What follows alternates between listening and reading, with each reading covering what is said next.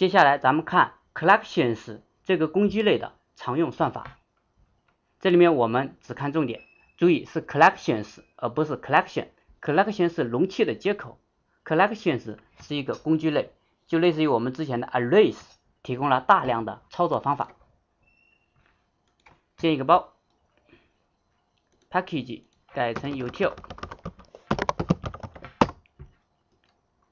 建个零一 collections demo 零一。找出重点方法。第一个，binary search，二分法查找。一想到二分法查找，跟我们之前的数组一样，需要你这个容器 list 有序，否则查找有可能错误。必须先排序，当然排序不用想了，就咱们已经讲过的 sort 方法。这个比较简单，咱们就不看了。第三个，找出重点，reverse，将你的容器元素反转。再往下看，shuffle，打乱顺序。我们这个可以模拟洗牌的过程，待会我们来看。再往下看。sort 排序已经看过了，我们重点研究过，这里面还有一个 sort complete，然后再往下看，还有一个交换数据，将指定容器的两个索引对应的数据进行交换。我们主要是看这些常用的方法。首先，咱们来一个 list。integer list 等于 new array list integer。我们这里面主要测试一下 reverse shuffle。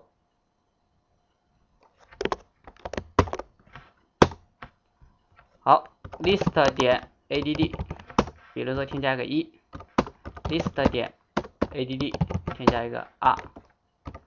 list 点 add 来一个三，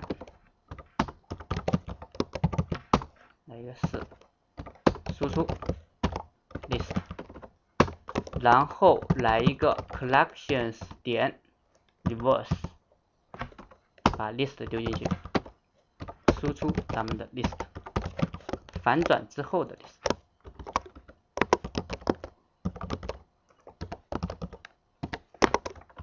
这些方法都比较简单，运行一下，原来是一二三四，现在是四三二一，第一个变成第四个，第二个变成第三个，第三个变成第二个。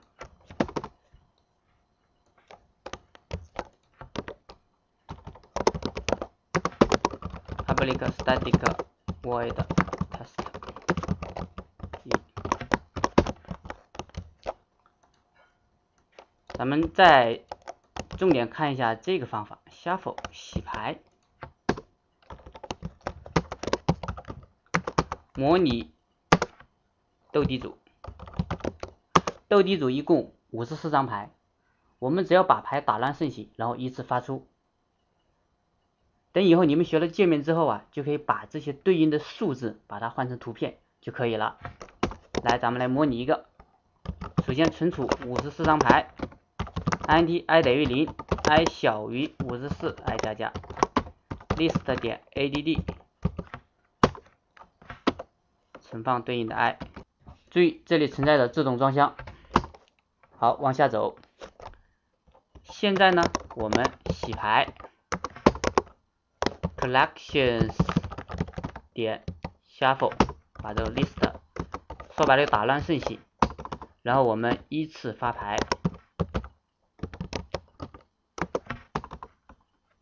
发给三个人，所以这里面 list integer p 等于 new array list integer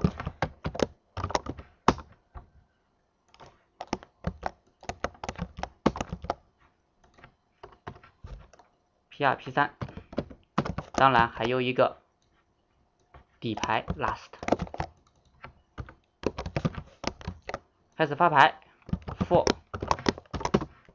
还是五十四张牌，只不过我们这里发五十一张即可，留三张底牌，这里面每次发三张，所以这里 i 加等于三，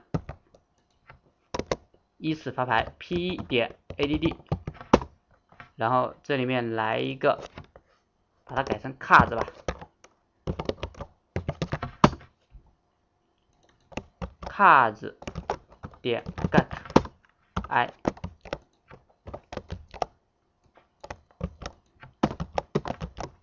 p 二 p 三 i 加一 i 加二，发完了之后我们输出。第一个人加一个 P 一，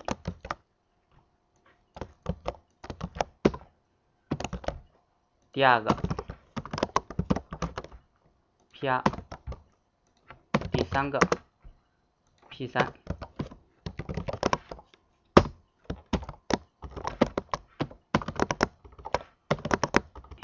底牌为加一个 last。看一下，这样的话我们就完成了洗牌和发牌的过程。底牌一个都没有，加入底牌点 ADD，无非就是后三张，五十一、五十二、五十三。最后三张为底牌，输出。来，这样我们就完成了斗地主的洗牌和发牌的模拟。对于 collection 的其他方法，咱们这里就不一一的测试。感兴趣的同学可以下去深入的了解。